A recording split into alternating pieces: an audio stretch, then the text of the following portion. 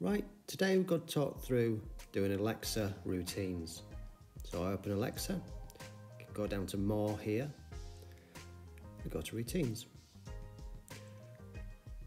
I'm going to create a new routine, so I can click on the plus icon in the corner. And I'm going to enter my routine name. So I'm going to create a routine for the school morning.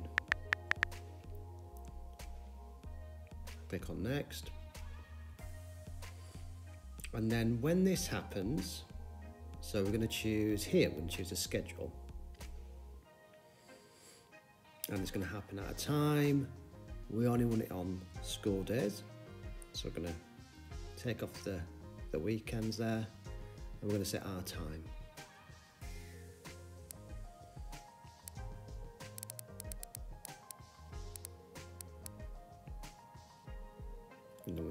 Click on next. Now we're going to add some actions.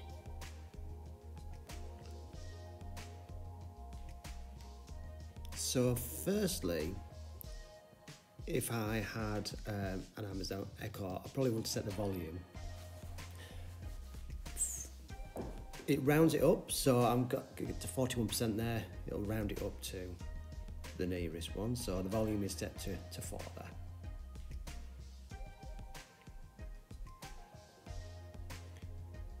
Choosing the device that would start from. So depending on where I might be, I can choose that device that suits.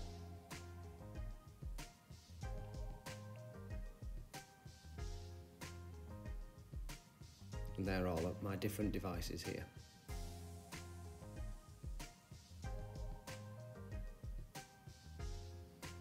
I'm going to add another action. So Alexa is going to say something to me.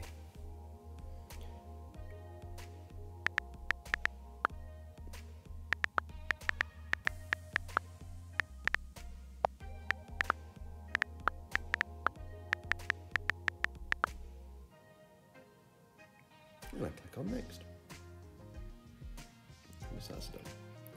So you can see all the actions underneath there. We would add another one.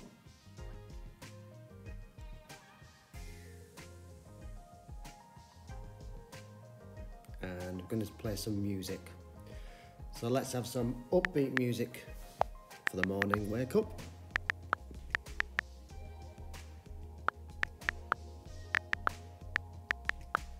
And this should play through whatever provider you might have. So it might be Amazon Music or Spotify, anything that you've linked to your Alexa account.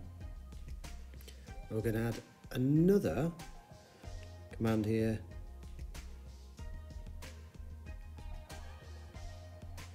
So you've got smart home, so you might have lights or anything like that that you want to turn on or off. So for example, say I want to turn on my lamp. Click on next, you can turn it on or off. So this would mean that you'd need to um, have some Wi-Fi plugs or Wi-Fi bulbs that you might have set up previously. So you can see the actions, you can rearrange these for how you'd want them to happen. So I've got the volume at the top, then it says something, plays the music and turns on the lamp. Save that routine, and then you're done.